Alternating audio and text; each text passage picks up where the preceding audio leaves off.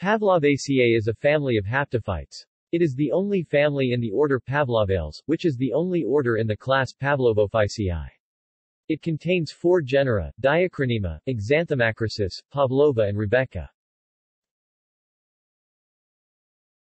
References